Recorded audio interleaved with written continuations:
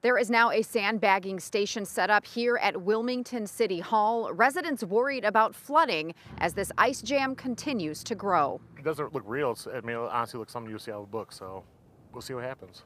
Mike Busher's son lives on the Kankakee River in Wilmington, the ice jam creeping closer over the banks. This is probably the worst we've ever seen out here with uh, how high the river's been and iced up, so it's pretty bad right now. Will County Emergency Management estimates the ice jam has increased to 10 miles in length.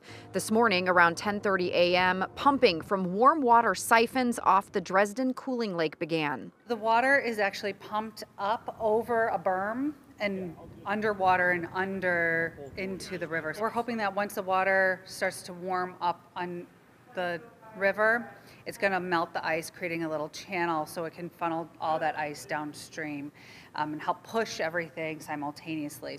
That's the hope to prevent flooding, but it's not a guarantee. It's really a fine balance. Um, we're starting to see that pooling of water behind. So as we open it up, the water is going to want to go somewhere and it's going to want to continue to go downstream.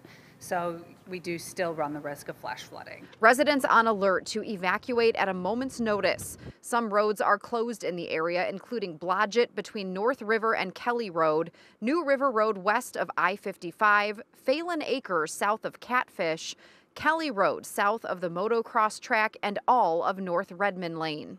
I think they're more standby right now. It's not nothing to be worried worried about by evacuating, but you're always got to be prepared.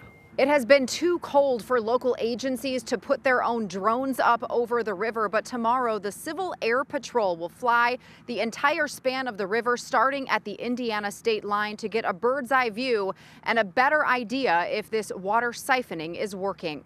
In Wilmington, Dana Rebik, WGN News.